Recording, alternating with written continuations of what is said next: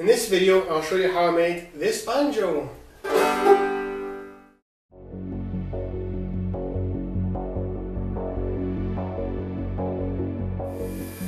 I started with the rim, which was made from segments of construction meranti, which were cut to 30 degrees on each end.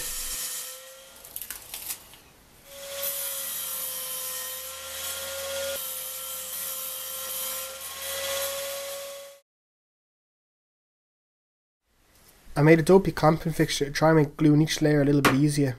I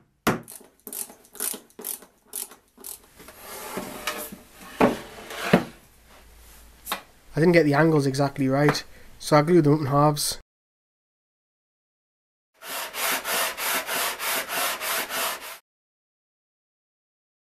Hexagons also weren't completely flat, so I flattened them with a drum sander. The layers were glued up, lined up by eye.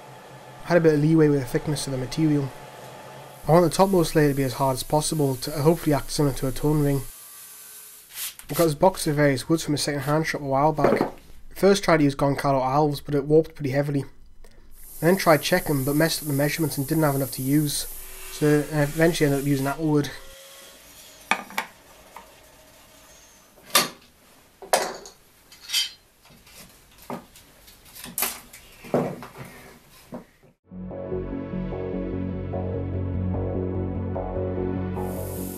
First tried to get the rim round using the spindle sander, but it didn't work and left a wavy surface. The obvious way to make the rim round is with some sort of lathe. I don't own a lathe big enough, so I figured I'd try and make a quick and shoddy one. The spindle was turned down so that one end could be gripped by a drill chuck.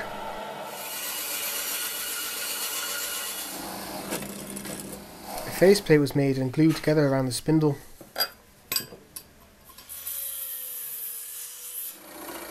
Hole cut was used to cut the hole for some bearings. The headstock end was then assembled onto a big slab of spruce. The drill was held on with this router base that happened to fit the drill collar, which made things a bit easier.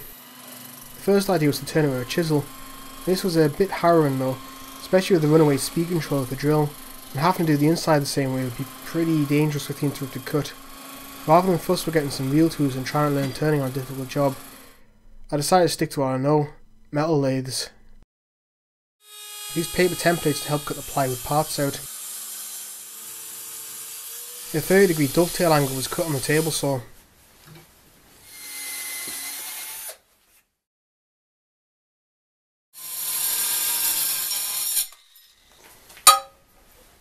A jib strip was used so I could adjust the fit of the dovetail to slide it easily, but without a lot of play.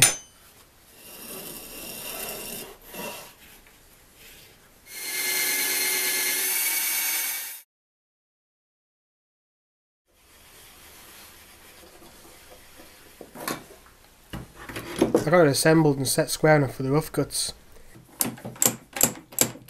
The tool holder is just a slot cut into a bit of plywood. The depth of cut is advanced by just pushing the tool further out from the tool post. Didn't take me long to start using a battery drill to move the cross slide.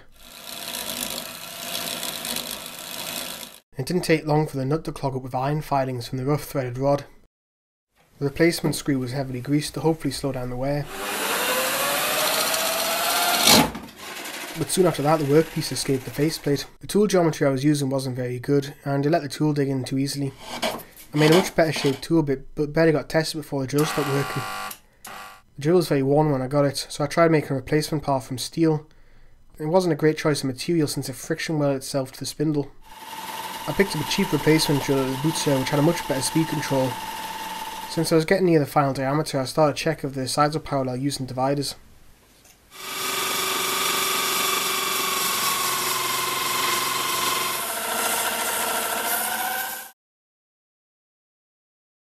I then moved the cross slide to get the outside of the rim. I pushed the drill a bit too much though.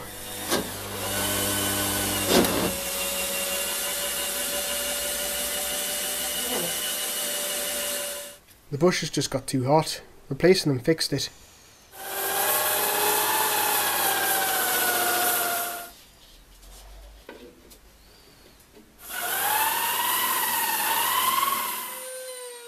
I used a selection of router bits to round over the top. And finish it off with a bit of sanding back on the lathe. It was then separated and had the remaining bit routed off with a flush trim bit. The bottom was left unfinished since I wasn't sure how tall I wanted the thing to be yet.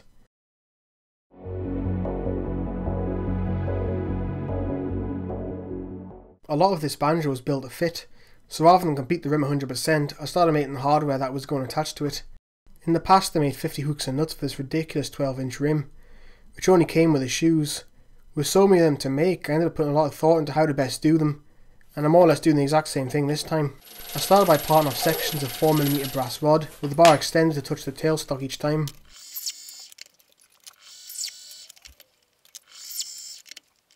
The bars are then partially threaded. The tailstock chuck is used to push the die forwards and keep it flat with a small slug held in the chuck. When the threads get to the right length, the bar hits the slug and the die starts moving forwards from the face of the chuck. At this point the lathe is reversed to get the die off.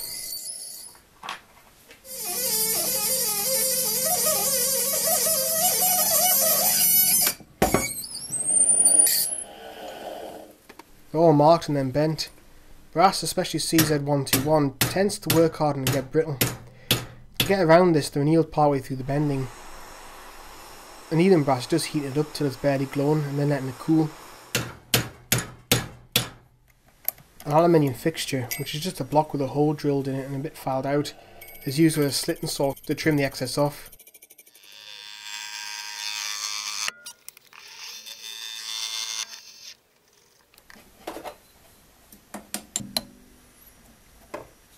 A few came out noticeably oversized. Accuracy is determined mostly by the bending step, but it won't really be noticeable around the banjo rim.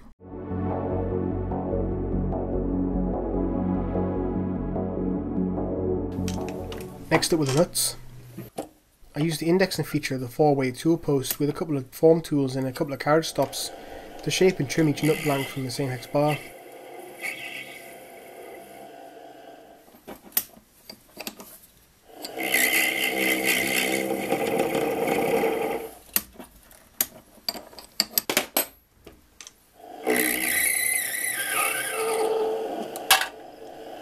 The blanks were then drilled and tapped.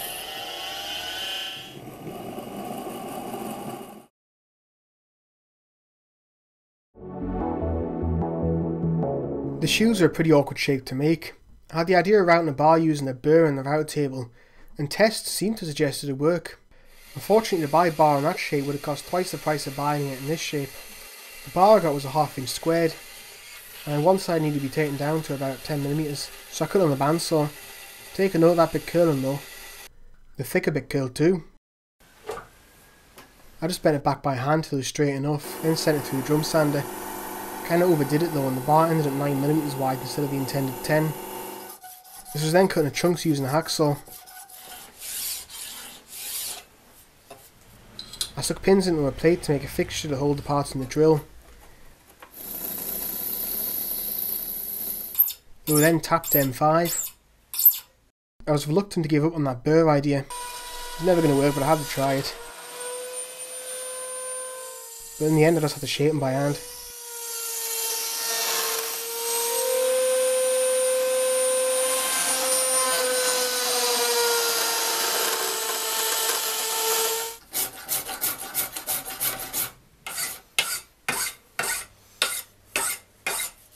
The bases were given a slight dish to accommodate the rim better.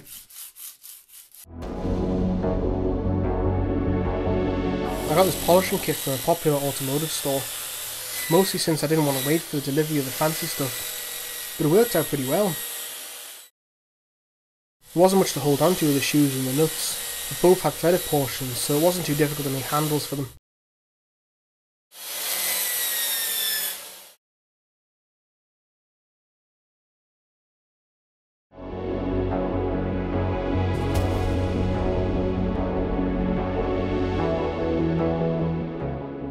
The neck was mostly made from the same construction Meranti as the rim, but taking a look at the edge grain shows it's far from the ideal quarter sawn, so it's at risk of warping in weird ways. On top of that, it also wasn't wide enough for the neck.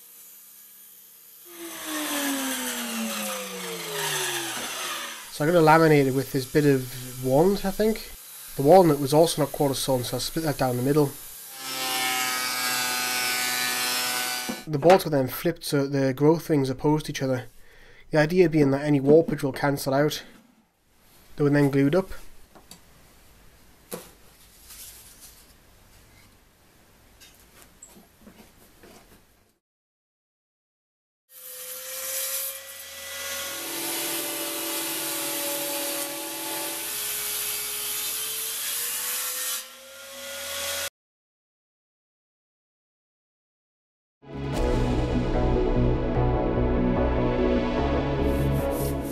To shape the neck, I first started by making an MDF template of the side profile. A little box was made to sand the headstock angle, an idea borrowed from Fletcher, who has some great videos on making guitars. I then cut to the line, or as close to the line as I dared, and used the drum sander to get the curves. For the back of the neck I decided to just bring it down very carefully with the sanding block. Also routed the channel for the truss rod.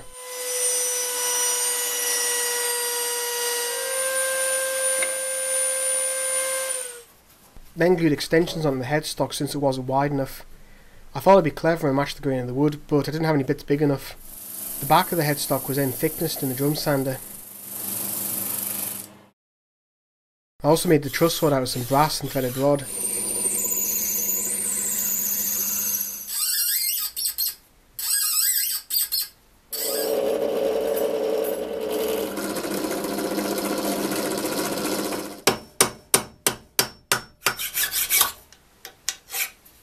The stepped end was a stupid idea which would have required routing out more material from the neck, so I thought I'd make the part again but thinner. Due to the mismatching grain, I figured I'd need to put some sort of veneer on the front of the headstock to hide it. So I'm using these two small bits of matching burl. They weren't quite big enough so I had to half them again.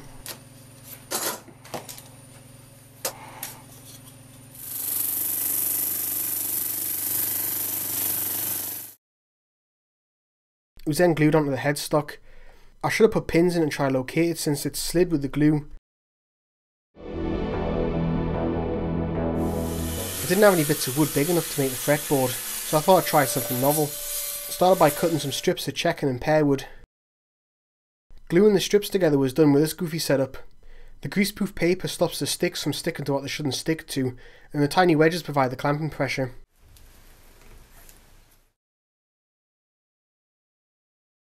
It was then neatened up. It slipped a few times so the layers were noticeably shifted. There were also some inevitable gaps but nothing too major. Another MDF template was made for the fretboard profile. A flush trim router bit was used to trim the fingerboard to it. The fretboard was then thickness to 6mm. Fret positions were marked through a paper template with a chisel. I figure the template would probably be more accurate than using a tape measure. The intended scale length of the banjo is 666mm, and I just got the fret positions from StewMac's fret position calculator. For cutting the fret slots, I epoxied a hacksaw blade into a block of wood, which rides against the face of this sort of rubbish miter box. The depth of the cut is limited by how far the hacksaw blade pokes out. The wood had a slight reflection that made lining up the hacksaw blade a lot easier than it would have been otherwise. I got too used to the old carpet that barely hung on, but the new stuff is intense. I guess I at least proved that this laminated fingerboard is plenty strong. Before I could glue the fretboard to the neck, I had to add the tube for the tunneled fifth string. This required routing a space for it. Then there's just a bit of carving and bending to get it to fit properly. I also squashed the tube a bit just so I had to route out less material.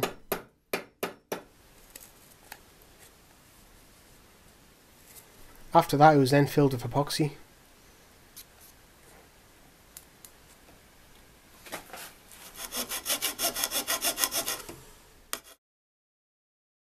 To stop the fretboard from slipping when it's glued on, I drove a couple of pins into the neck and cut the heads off.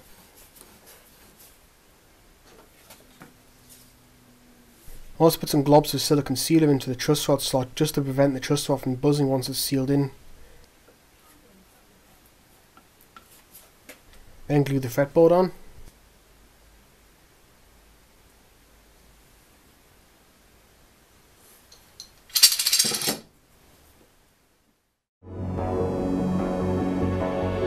To help carve the neck I decided to make a couple of rasps, mostly since real rasps are quite expensive, and had varying success.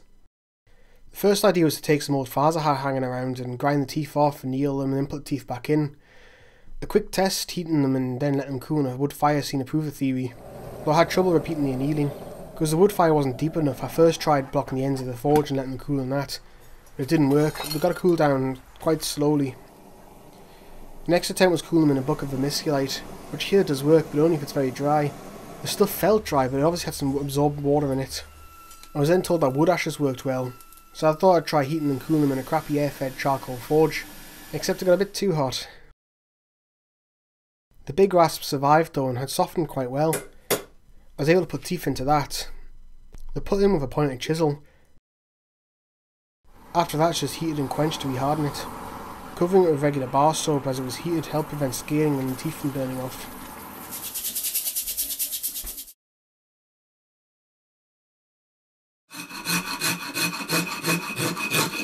Since the blank intended to be the half round melted, I thought I'd try making another one from mild steel and case hardening it.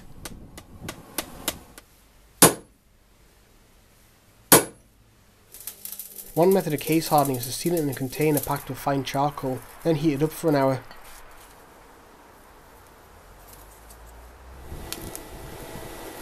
But pardon to the process, the pressure rose and the lid of the canister popped off, ejecting the contents into my face.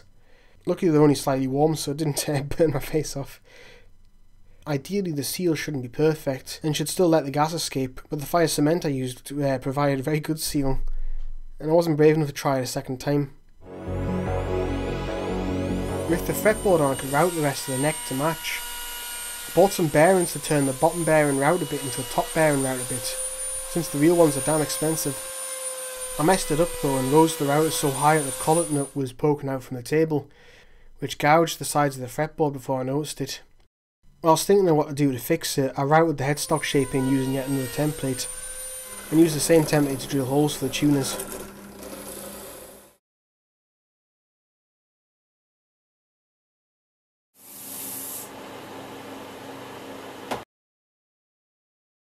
Fix that cock up I decided to just edge banding from drain pipe iron flat. I think it's ABS pipe but I'm not sure.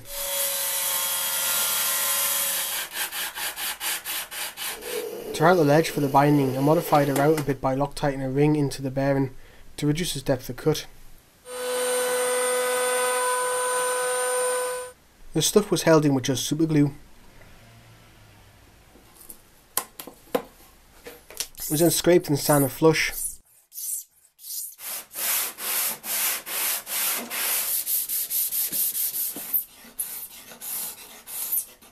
At this point also opened up access to the truss rod again. Lost my lighter. I used the flame to soften the plastic so I could bend it to match the curve of the headstock.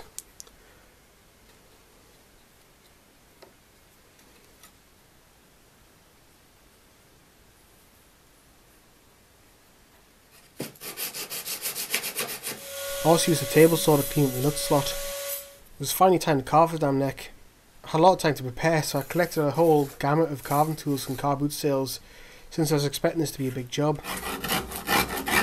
Seems there's a lot of ways people like to carve necks, and I thought facets made the most sense, by marking to cut flats into the neck at a tangent to the intended curve. And the actual carving took no time at all, probably less than half an hour.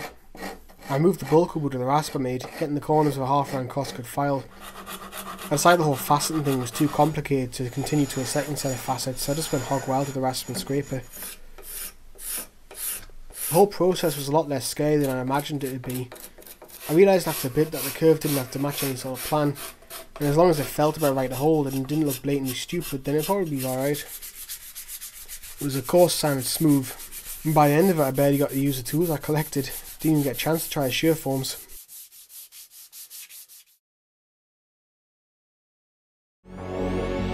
After carving the neck I fitted it to the rim. The neck needs not only a backwards angle, but it also needs a sideways angle to accommodate the neck being asymmetric. Throughout building it I pretended the centerline of the neck was down the middle of the joint rather than to the third string where it actually is. So it needs an angle so the third string lines up through the centre of the banjo. If you don't do this there's a tendency for the bridge to get pulled sideways and off centre. Before any of that though I need to drill some holes for mounting the neck.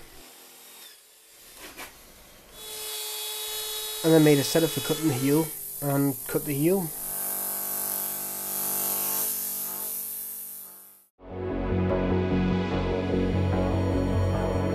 I thought it'd be clever and try and make the tension hoop out of some 304 stainless. It was bent around a cut off and then the percentage spring back was measured. A form was then made the same percentage undersized to the banjo rim. The best way to join the hoop probably would have been with some silver solder, but rather than wait for delivery, I decided to try welding it with regular welding rods. I did test earlier on some offcuts and found it produced a surprisingly strong but brittle weld. So naturally the first thing I did when I got the real thing was to try bend it to correct a curve. I thought I'd try bridge the gap with another bit of steel instead, but being 304 stainless it was very difficult to drill. So I got fed up and just welded a lump of steel on. It wasn't a good idea at all, but I was in a hurry for some reason. But with the hoop made, I could then figure out the ideal position for the shoes. I made a template for all the shoe positions and drilled them.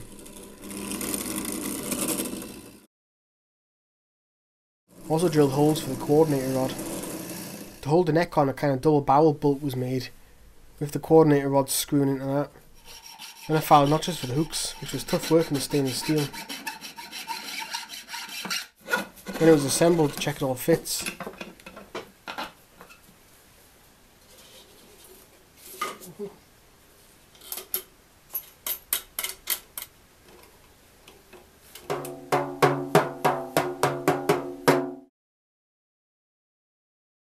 Bit of the neck was cut away to accommodate the tension hoop.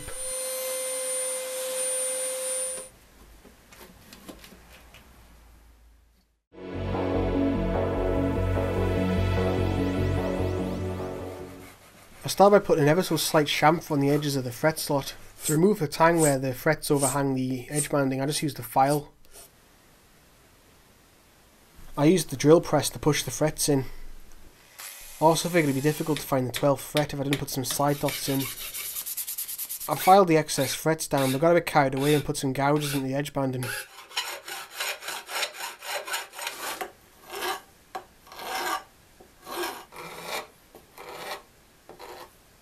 And sand the frets flat, or flatter. I don't think it's necessary to get it absolute. By the end of the day it's wood and it's not that accurate. It makes more sense to fix problems like high frets if they actually cause problems. To put the round top back onto the frets, I made a stupid block of wood with a groove in it that I glued sandpaper into.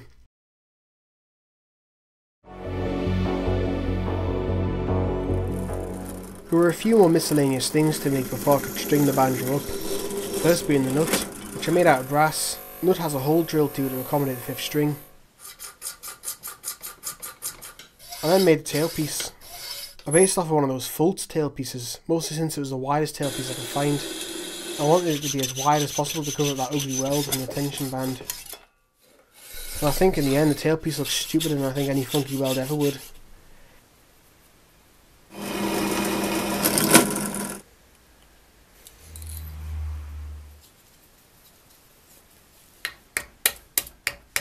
Being bare steel it would have been prone to rust. I've read that getting the thing blue just from heating it up can somewhat protect it, so I gave it a try carefully heating it till it went blue. Then dipped it in oil. Time will tell if it actually works.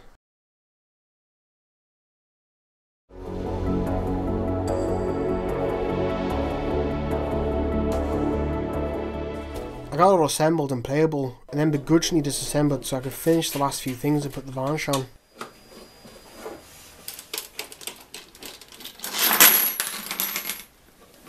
I found some shellac in a second hand shop so I went with that for the finish. Comes as flakes and needs to be dissolved in alcohol. I crushed the flakes a bit so it'd hopefully dissolve quicker. While waiting for the shark to dissolve, I adjusted the heat angle a bit and then sanded the cut off the rim. I'd collected the sawdust from the drum sander and used that to fill the pores by rubbing it on with some fairly dilute shellac. Then sanding it off and repeating. I did the same to the neck.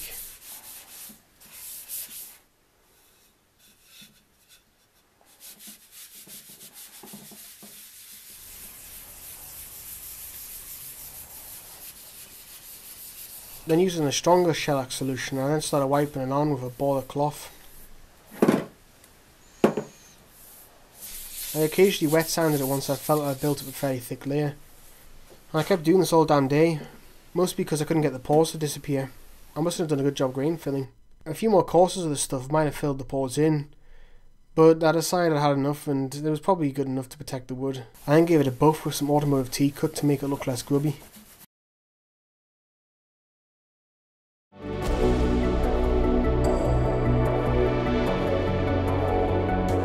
Time to assemble the thing. There were a few little jobs to do here and there. The truss rod cover is canted a little bit just to line up that wonky veneer seam.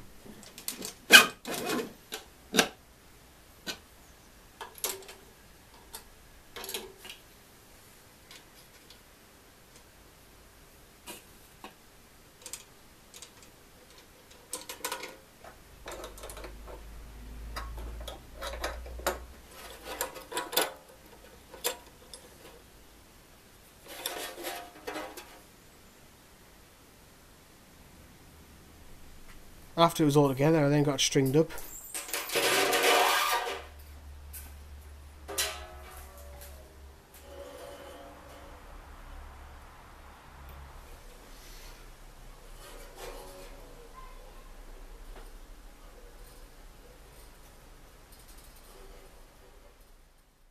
I think it turned out fairly well overall.